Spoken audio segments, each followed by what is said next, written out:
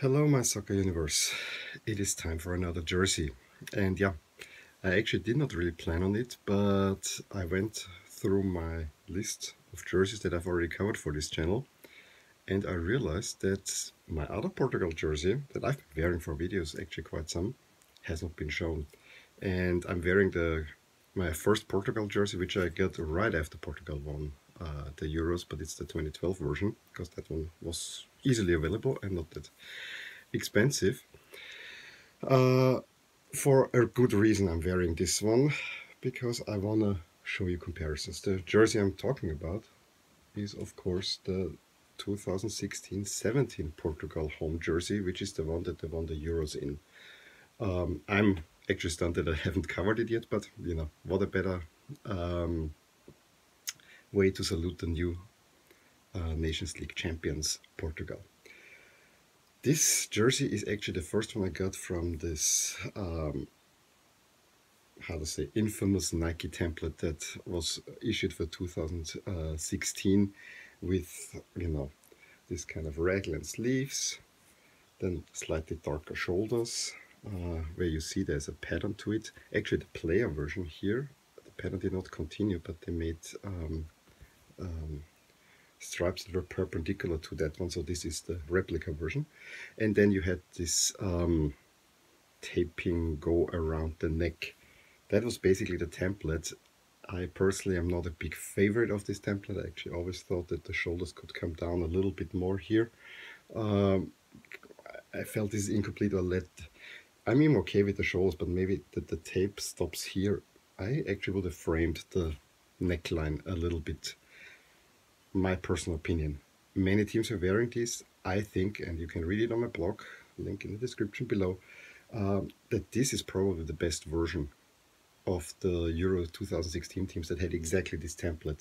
Uh, France was horrible, England, so and so. You get the. This one actually I think worked quite well. Uh, what I like most about this jersey, I mean, it has a little bit too little green. The only other green that shows up is here on the sides. And actually, when you look at it, if you stretch it, you can see there's this lighter green that was used for the away jersey. So basically, the away jersey colors are in there too. So this was another feature that you had this side where the green matches the green on the collar, but then you had a color that is not used on the shirt in there. Kind of weird. This was the only way that the red showed up on the French shirt. So you had that, but my favorite feature of this one is the crest. Look at the two crests, just size-wise, how big this one is compared to the other one. I think you get the idea. It's quite a sizable crest. That I like a lot on this jersey, and that's why I sometimes like to wear this even more than this one. Although this, I think, is what a Portugal jersey should look like, uh, with the green color here, just plain red, this was a great job done by Nike in 2012. 2016, they went all template. Also, not a bad job. There are people who say we should be gold instead of white. I'm so used to the white now. I agree, though, that maybe a golden or yellow color, especially now that the one would be nice. I've been thinking of getting the winner's crest here, but then that's more or less what they wore in the final, so maybe get some final customization here. We have to see. One last feature of this one, I mean, if you look at the back side, um, the two panels meet here, which is now the latest Nike feature that the sleeves are made of two panels. And there's nothing here covering it up, like the taping in 2018, or even the Barcelona shirt that I have has a little Catalan flag, but this was also something that all of those, they just wrote the country name in the country's language in there. Um, nice feature, it's actually a nice rubbery thing that sticks quite well. It's empty on the back. Where did I get this one?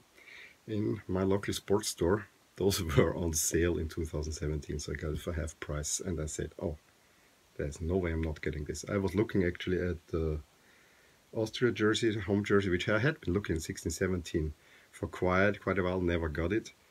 And then I looked on the rack what do they have? Spain maybe? France? I like the cockroach dress but I really don't like a jersey. And then I saw this one the last one and I said I gotta get this one. Well let me know what you think about this jersey as I said, I like it a lot. The one thing I always wonder is this crest, and it's also here.